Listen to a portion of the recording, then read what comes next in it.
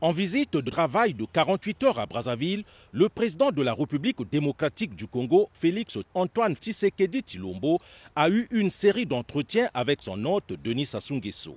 Entretiens se rapportant d'abord sur les relations bilatérales et de bon voisinage entre les deux Congos liés par la géographie et l'histoire.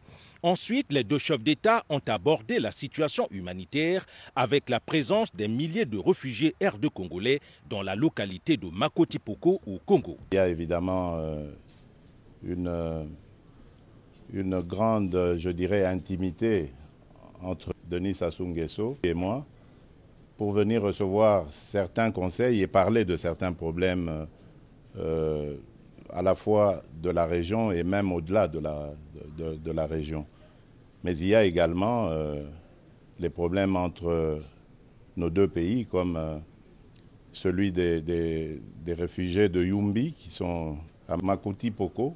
La pandémie de coronavirus a également retenu l'attention des deux dirigeants. L'actualité en RDC étant dominée par une certaine friction politique, le président Félix Tshisekedi reconnaît que la cohabitation engendre souvent ce genre de malentendus. C'est une expérience inédite dans la, jeune histoire de notre pays. C'est d'abord la première alternance pacifique que nous avons.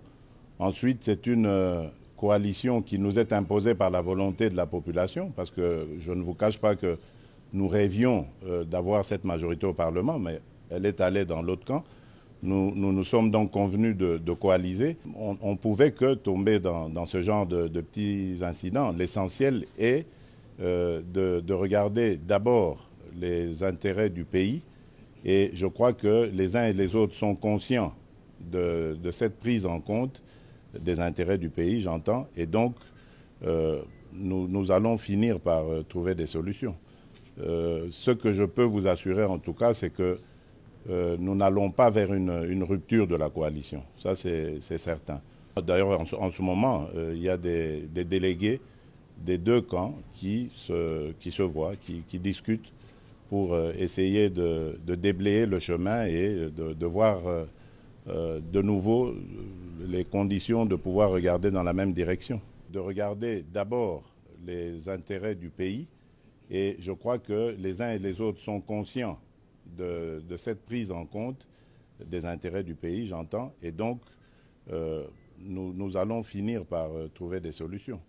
Euh, ce que je peux vous assurer en tout cas, c'est que nous n'allons pas vers une, rupture de la coalition, ça c'est certain. Mais évidemment, d'ailleurs en, ce moment, il y a des, délégués des deux camps qui se, voient, qui discutent pour euh, essayer de, déblayer le chemin et de, voir euh, euh, de nouveau les conditions de pouvoir regarder dans la même direction.